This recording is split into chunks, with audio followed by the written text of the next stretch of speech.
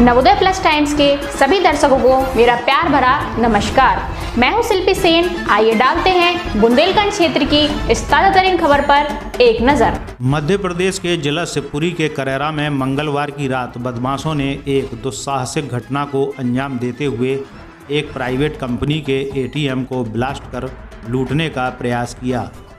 लेकिन तेज धमाके की आवाज़ सुनकर बदमाश हिम्मत नहीं जुटा पाए। और बिखरे हुए नोटों को वहीं छोड़कर भाग गए। ब्लास्ट से चिथड़े चिथड़े हुए एटीएम के पास सूचना पर पहुँची पुलिस ने ज़मीन पर पड़े नोटों को समेटा।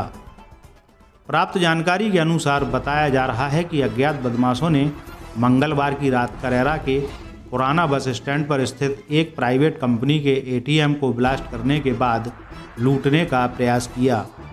लेकिन तेज धमाके की आवाज़ और पुलिस के आने के डर से बदमाश रुपए लिए बिना ही वहाँ से भाग गए।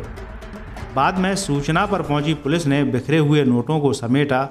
नोटों की कीमत छः लाख बहत्तर हज़ार रुपये बताई गई है।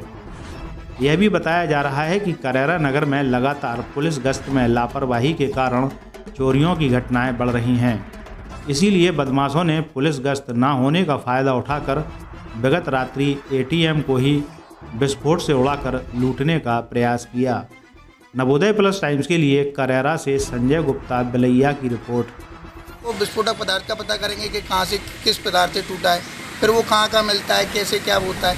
तो जिन चीज़ों का उनने आरोपियों ने उपयोग किया है उसमें तो सबसे पहले अपन उनका पता किए।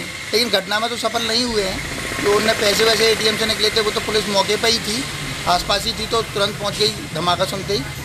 तो क्या है, धमाका सुना तो एकदम पुलिस मौके पर पहुँची तो जितना भी पैसा था तो उनने पुलिस ने अपने कब्जे में ले लिया। कितना रकम थी इसमें और कितने ये घटना है ढाई तीन बजे की।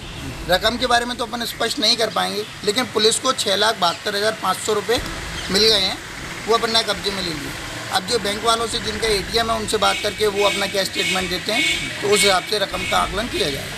तो क्या माना जाएगा एटीएम पे? तो जैसा सभी जानते हैं कि नगर में ऐसी कोई एटीएमों पर गार्ड वार्ड रहते नहीं है, वो तो रात्रि गश्त में बस हमारे जो सिपाही लगे होते हैं वह वही रात में एक एक बार एटीएम को समूह को चेक कर लेते हैं। बस यही है, रात्रि में कहीं ए एटीएमों पर गार्ड नहीं लगे रहते। बुंदेलखंड और देश प्रदेश की ताज़ा तरीन खबरों से लगातार जुड़े रहने के लिए हमारे चैनल नवोदय प्लस टाइम्स को सब्सक्राइब कीजिए और लेटेस्ट न्यूज़ के नोटिफिकेशन के लिए बेल आइकॉन पर क्लिक कीजिए।